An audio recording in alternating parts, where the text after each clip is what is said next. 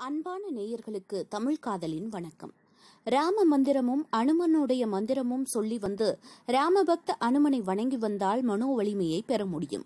மனதில் இருந்த குழப்பங்களையும் கவலைகளையும் கலைந்து அருள் செய்கிறார் ஜெய் அனுமன்.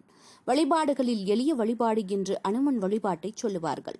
வைஷ்ணவ ஆலயங்களில் அனுமனுக்கு தனி சன்னதியே அமைந்திருக்கும். ஆலயங்களுக்கு சென்று அனுமனை வழிபட்டு வந்தாலே எண்ணற்ற பலன்களை கிடைக்கப் பெறலாம்.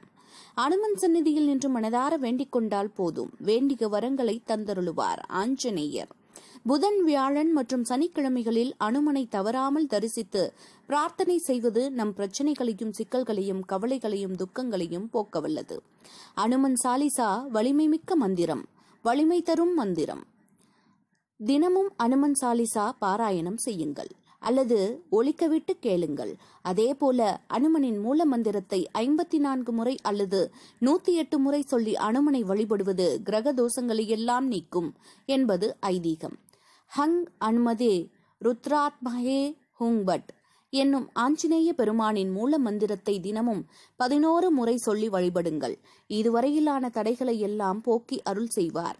அனுமன் சன்னதிக்கு முன்னே நின்று கொண்டு ஜெய்ராம் என்றும் ராம் ராம் என்றும் ஸ்ரீராம் ஜெய்ராம் ஜெய் ஜெயராம் என்றும் சொல்லி வழிபடுங்கள். வளமும் நலமும் தந்தருளுவார் ஜெய் அனுமன். முடிந்தால் அனுமனுக்கு துளசி மாலை சார்த்தி வேண்டிக் கொள்ளுங்கள். குழந்தை பாக்கியம் இல்லாதவர்கள் வெண்ணெய் காப்பு சார்த்தி வேண்டிக் கொள்ளுங்கள். மீண்டும் நல்லதொரு பதிவில் சந்திக்கிறேன். நன்றி வணக்கம்.